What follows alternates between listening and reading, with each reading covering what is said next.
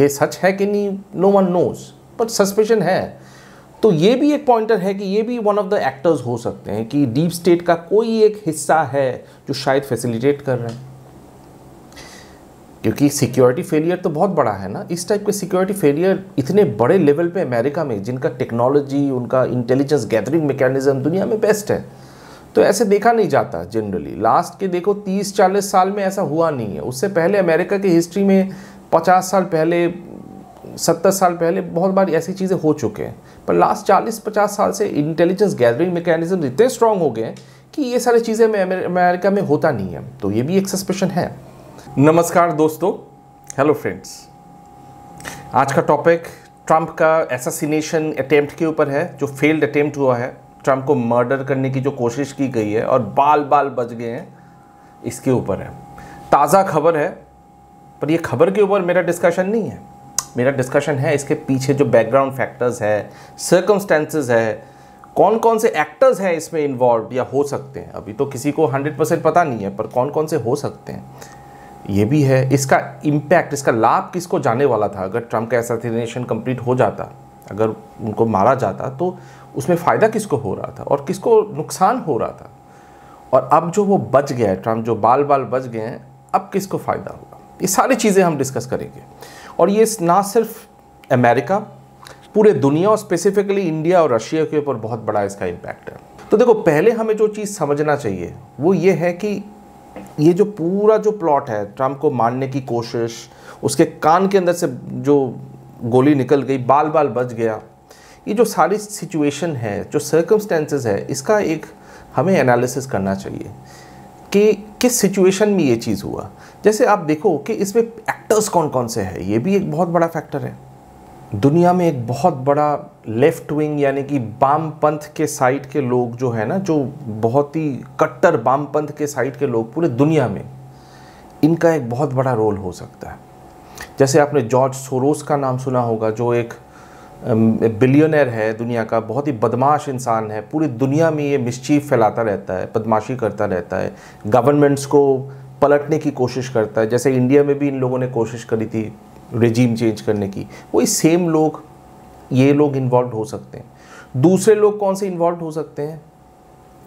जैसे देखो कि दुनिया में दो बड़े वॉर्स चल रहे हैं ऑब्वियसली पूरे दुनिया में, एक है हमास वर्सेस इसराइल और दूसरा है रशिया वर्सेस यूक्रेन अब ये दोनों के वॉर के ऊपर ट्रंप का एक बहुत बड़ा फैक्टर था।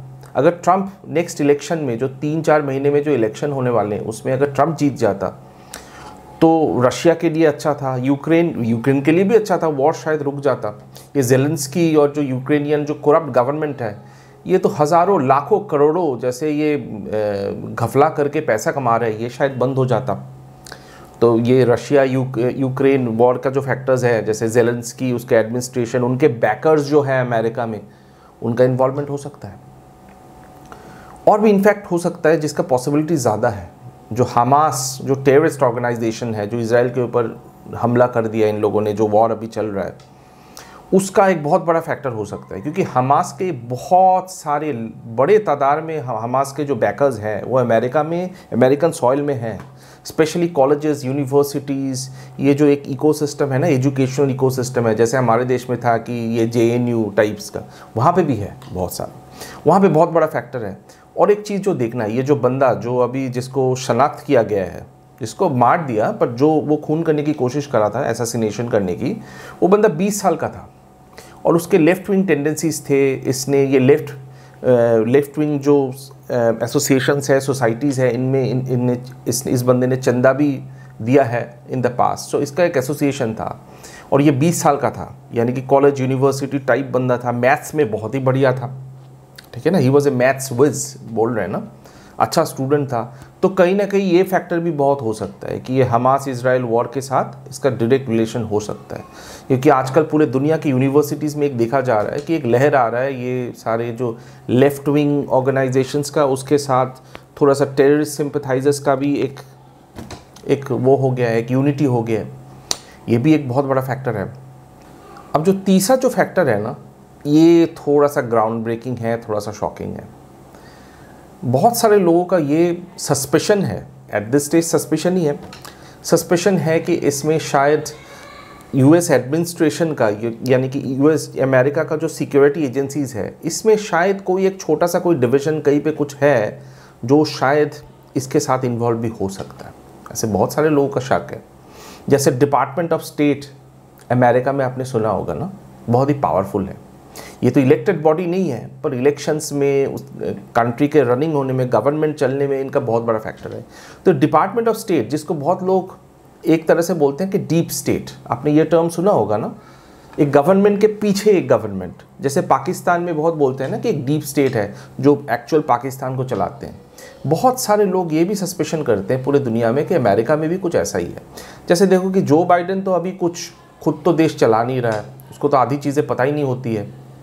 बहुत ज़्यादा उसका दिमाग तो पूरा यू नो सठिया गया है। तो बहुत सारे लोग सस्पेशन ये करते हैं कि पूरा एडमिनिस्ट्रेशन अभी डीप स्टेट ही अमेरिका में चला रहा है। ये सच है कि नहीं? No one knows but suspicion है। तो ये भी एक पॉइंटर है कि ये भी वन ऑफ़ द एक्टर्स हो सकते हैं कि डीप स्टेट का कोई एक हिस्सा है जो शायद फैसिलिटेट कर रहे हैं। क्योंकि सिक्योरिटी फेलियर तो बहुत बड़ा है ना। इस टाइप के सिक्योरिटी फेलियर इतने बड़े लेवल पे अमेरिका में, जिनका टेक्नोलॉजी उनका इंटेलिजेंस गैदरिंग मैकेनिज्म दुनिया में बेस्ट है तो ऐसे देखा नहीं जाता जनरली लास्ट के देखो 30-40 साल में ऐसा हुआ नहीं है। उससे पहले अमेरिका की हिस्ट्री में 50 साल पहले 70 साल पहले बहुत बार ऐसी चीज़ें हो चुके हैं। पर लास्ट 40-50 साल से इंटेलिजेंस गैदरिंग मैकेनिज्म इतने स्ट्रांग हो गए कि ये सारी चीज़ें अमेरिका में होता नहीं है। तो ये भी एक सस्पेशन है। और एक फैक्टर जो लोगों के मन में सस्पेशन यानी कि शक पैदा कर रहा है, पता ही क्या है? कि इन्वेस्टिगेशन शुरू होने से पहले ही जो एफबीआई है, जो वहाँ का इन्वेस्टिगेटिव एजेंसी है, जो इंटरनल इन्वेस्टिगेशन जो अमेरिका में जो है ना, देश के अंदर जितने भी सारे इन्वेस्टिगेशन है, वो एफबीआई करते हैं। और देश के बाहर जो इंटेलिजेंस गैदरिंग चीज़, जो चीज़ें होते हैं, वो सी करता है। तो एफबीआई का कोई एक पोर्शन का भी इन्वॉल्वमेंट लोग सोच रहे हैं। नहीं तो इतनी जल्दी इन्वेस्टिगेशन शुरू होने से पहले ही एफबीआई के तरफ़ से एक एक न्यूज़ ये भी आया था कि शायद ये लोन वुल्फ अटैक है। अब ये लोन वुल्फ क्या होता है? कि कोई एक बंदा जो खुद के शायद आइडियोलॉजी के हिसाब से, खुद के ही प्रयास से शायद करा होगा, किसी लार्जर ग्रुप या कोई ऑर्गेनाइजेशन का शायद बैकिंग नहीं है। वो बंदा कोई होता है ना, सरफिरा कोई होता है, खुद से कुछ कर देता है, इस टाइप का हो सकता है। तो इन लोगों ने बहुत पहले ही ये सजेस्ट कर दिया इन्वेस्टिगेशन करने से पहले ही। तो ये एक शक पैदा कर रहे हैं बहुत लोगों के माइंड में। अभी तो देखो, सबसे अच्छी बात यह है कि ट्रंप बच गया। कान के साइड से निकल गया ना, कान ऐसे हिट करके राइट ईयर में हिट करके निकल गया। वो बुलेट जो फायर किया गया था एक बिल्डिंग के फ्लोर ऊपर के फ्लोर से, ठीक है ना? जैसे आपने हिंदी मूवीज़ में भी देखी होगी कुछ कुछ ऐसा ही है। आपको शक नहीं होता कि एक बिल्डिंग जो सामने क्लियर व्यू है ट्रंप के ऊपर उसके ऊपर कोई इन लोगों ने कोई इंटेलिजेंस मैकेनिज़्म कोई फ्रिस्किंग कोई सैनिटेशन कुछ नहीं करा। तो शक तो पैदा करता ही है। अब देखो कि ये सारी चीज़ों से ना ट्रंप बच गया, अच्छी बात है। पर अगर ट्रंप को कुछ हो जाता है इससे फ़ायदा किन लोगों का होता?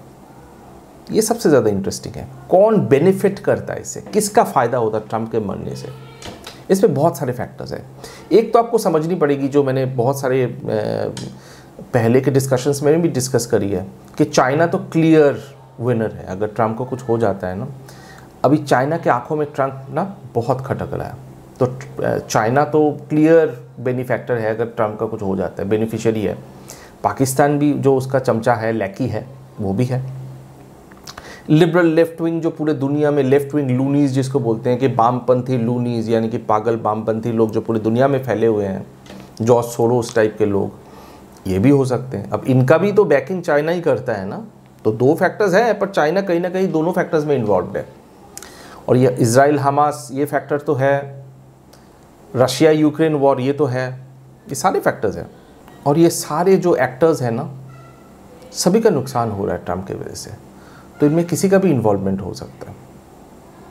अब देखो, अगर ट्रंप का कुछ हो जाता, उसमें नुकसान किसका होता? हमने तो बोला कि ट्रंप का कुछ हो जाता तो फ़ायदा किसका होता? नुकसान किसका होता? नुकसान होता रशिया यूक्रेन वॉर में। ये वॉर और खींचेगा और खींचेगा। अगर ट्रंप नहीं होगा तो इन द फ्यूचर बहुत लोग मरेंगे यूरोप में। और खिंचता रहेगा। इसराइल हमास वॉर में भी इसका नुकसान होता है इसराइल को। है ना?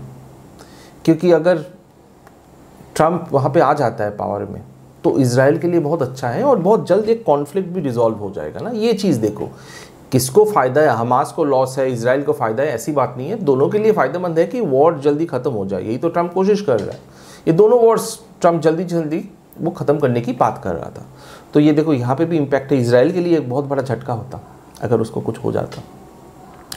इंडिया के लिए भी एक बहुत बड़ा फैक्टर है। क्योंकि आपको तो पता है, पहले डिस्कशंस में भी मैं बता चुका हूँ कि ये जो करंट जो डेमोक्रेट पार्टी का जो यूएस गवर्नमेंट है, ये बहुत ही हॉस्टाइल है इंडिया के ऊपर। इंडिया का रिजीम चेंज करने के भी इन लोगों ने कोशिश करा काफ़ी बार। लोग ऐसे शक करते हैं, कोई एविडेंस तो पक्का नहीं है, पर लोग शक तो करते हैं कि शायद रिजीम चेंज का भी इन लोगों ने लोगों ने कोशिश करी है। तो ये एंटी इंडिया फोर्सेस जो है ना, कहीं ना कहीं इनके साथ जुड़े हुए हैं। ये जो जो भी जो भी इन्वॉल्वमेंट जिसका भी है, उनके साथ ये कॉमन फैक्टर्स देखो सारे मिल रहे हैं। तो इंडिया का भी बहुत बड़ा नुकसान होता, क्योंकि एक और बार अगर एक डेमोक्रेटिक गवर्नमेंट आ गया ना डेमोक्रेट्स का तो इंडिया के लिए बहुत बुरा होगा। पाकिस्तान को फिर से सपोर्ट मिलना शुरू हो जाएगा। ये जो खालिस्तानी, जो टेररिज्म वाले जो चीज़ें हैं, इनको और बढ़ावा मिलेगा, Joe Biden administration actively Khalistani को बैक कर रहे हैं इंडिया के खिलाफ, ये और बढ़ जाता। तो क्लियर लूजर्स तो है। अब सबसे इंटरेस्टिंग बात एंड में एक और चीज़ बोलूँगा कि अब ट्रंप जो बच गया है ना, भगवान के मर्ज़ी से डिवाइन इंटरवेंशन से, जैसे भी हो, लोग तो ये बोल रहे हैं कि एक दो सेकंड पहले ना ट्रंप ने थोड़ा सा ऐसे सर घुमा लिया था, ऐसे बात करने के चक्कर में। उसी से शायद उसकी जान बच गई, क्योंकि वो गोली कान में ना लग के ना उसके सर पे लग जाता अदरवाइज़ तो ऐसे ही बच गया तो इसको तो बोलना पड़ेगा ना कि भगवान का हाथ था ट्रंप के ऊपर, इसीलिए बच गया। पर इसका इम्पैक्ट क्या होने वाली है? इसके ऊपर मैं फुल एक वीडियो बनाऊँगा। अब इसका इम्पैक्ट यूएस इलेक्शंस पे कैसा होगा ग्लोबल अफेयर्स पे कैसे होगा रशिया यूक्रेन वॉर के ऊपर कैसे होगा इसराइल हमास के युद्ध में कैसे होगा, ये सारी जो फैक्टर्स हैं, ये मैं दूसरे वीडियो में डिस्कस करूँगा। तो ऐसे ही बने रहिए मेरे साथ, मेरे वीडियोस के ऊपर कमेंट्स डालिए। If you don't agree to anything if you like it of course put a like on it and I see you in the next video till then thank you bye